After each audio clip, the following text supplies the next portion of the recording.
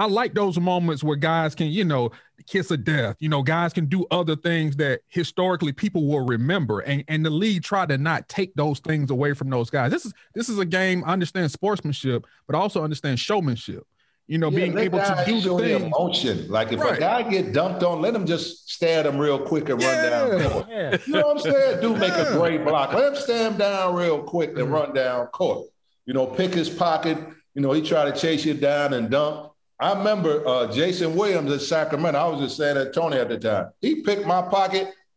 And I went, man, you know, when you get strip robbed, you run down fast. Hard as knock it down. hell. This dude quick dumped it on me, Rob, and grabbed some popcorn on the way up. On me, that, put some popcorn out for him. He grabbed some popcorn, yo, and I made sports out of that. And I'm like, man, and like you said, it's entertainment. Let guys show their emotion just a little bit, especially now. The refs are so sensitive now.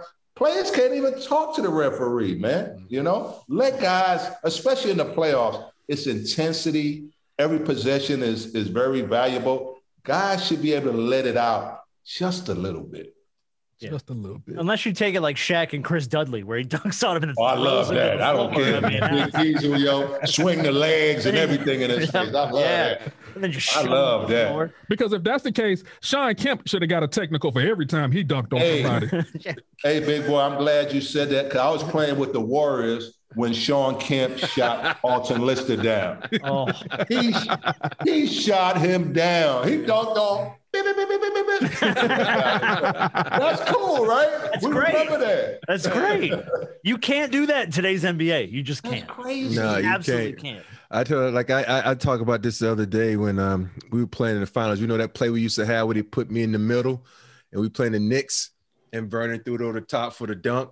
Yeah. And then I yelled in uh, Oakley's face and I was like, yeah. I'm like, I just realized that's Oakley. Number one, I could have got knocked the fuck out. and number two, I could have got a tech. And like, but you know, the emotion of the game, you get caught up in emotion sometimes. And I think if refs uh, who have played the game with ref and they understand, okay, there's gonna be moments where you get caught up in the moment, you're gonna have some, you know, some antics or some, you're gonna let those emotions out and to let it go. But if you keep doing stuff, then that's when I say, okay, you know, give let them know that you know that you're going too far. But one time you gotta let it slide, man, because that's what this, that's what we did on the park. That's what we that's how we have fun. That's what we love this game. That's why we go out and work so hard to get good at things so we can have those moments where we can shine and say, hey, you know, this is my thing. This is what I'm doing.